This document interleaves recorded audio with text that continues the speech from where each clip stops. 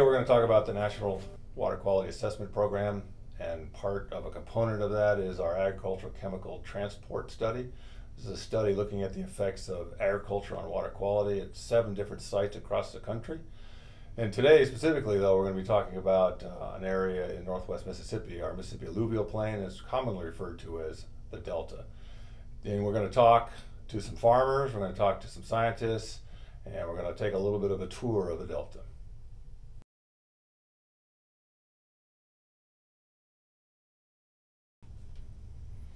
So, Richard, what have you been working on as far as the NAWQA program?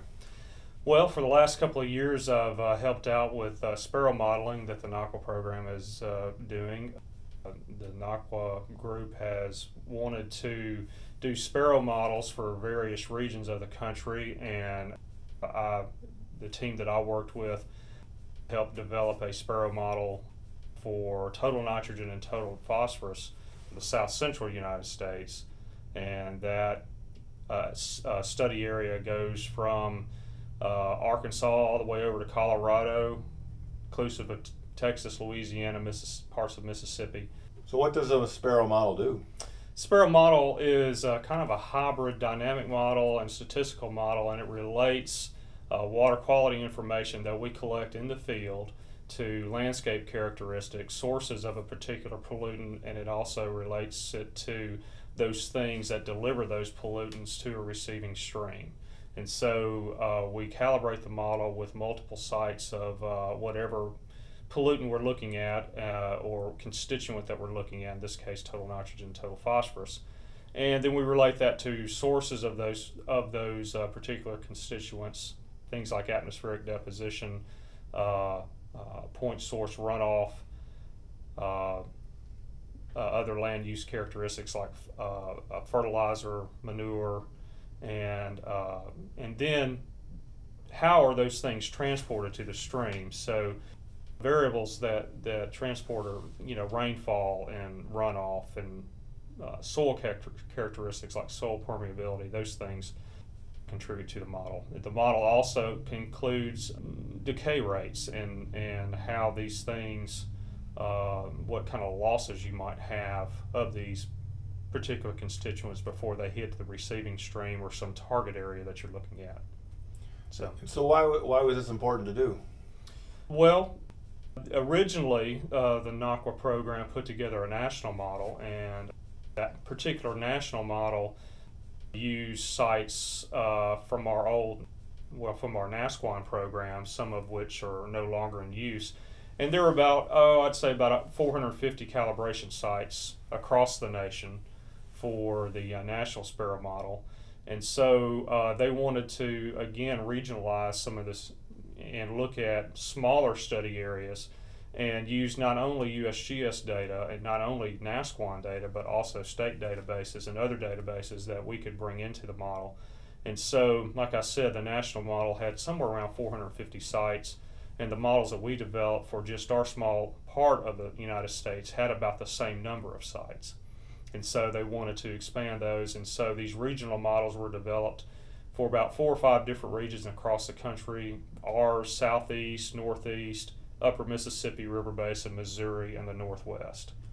And so, what would be the most important results or the most significant results that you found from this study? Well, from this study, as you can imagine, if we stretch from West Texas and, and Colorado over to the uh, lower Mississippi Valley, you're looking at an area from very arid to very humid, wet conditions.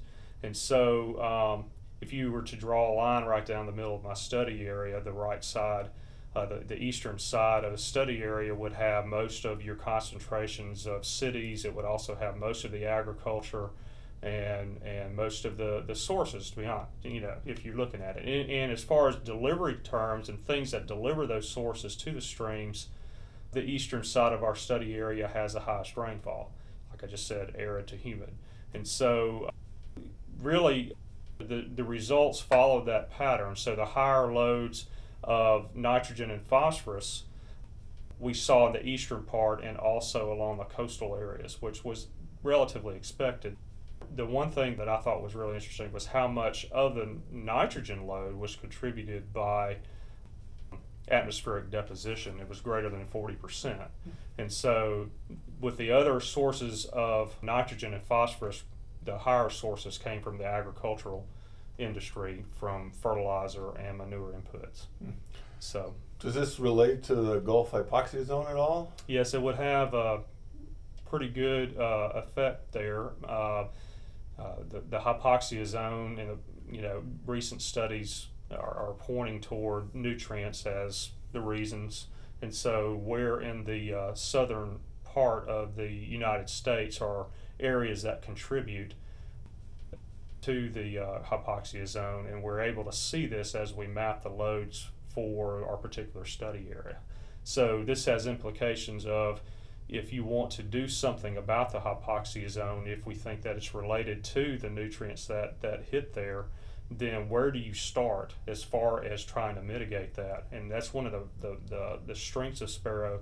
The mapping products that are produced will show you those uh, hot areas or, or whatever where you can, you know, if a another agency were to invest money into best management practices or some other source, some other way to mitigate um, where is the best bang for the buck in the study area.